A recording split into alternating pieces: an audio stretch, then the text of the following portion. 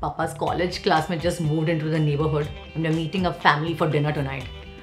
I think Papa is nervous about meeting his college sweetheart after all these years. Listen, Joe, no more disasters. You know Sushant and family are coming over for dinner.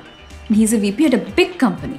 Right? Oh, Of course, I'll be on my best behavior for VP, sir.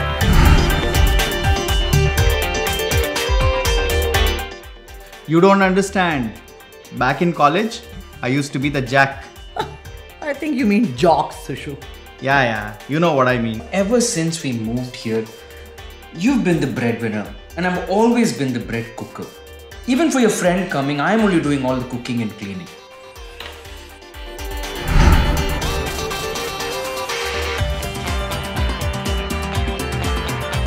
Ah, your grades are going down. How can you get into college if you can't focus on schoolwork? You know, nobody in our family has gotten a B before. Mama, you do know that Aku got a C in PE, right? Here, take it. Kubita, what's wrong? I won't play on it for a week, I promise. Just don't send me to Geeta Auntie's house. You know I don't like it there.